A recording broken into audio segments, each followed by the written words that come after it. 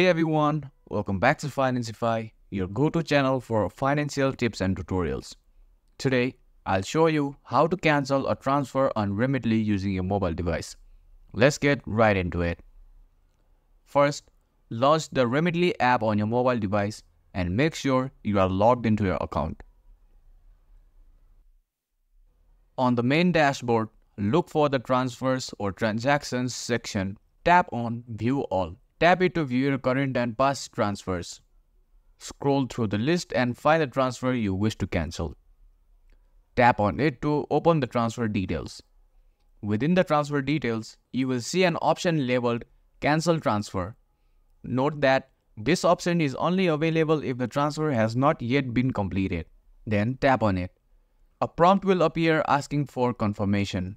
Read the details carefully and Tap Yes, Cancel or Confirm to proceed. You should receive a message confirming the cancellation. The transfer will now show as cancelled in your history, and you may receive a notification or email confirming the action. And that's it.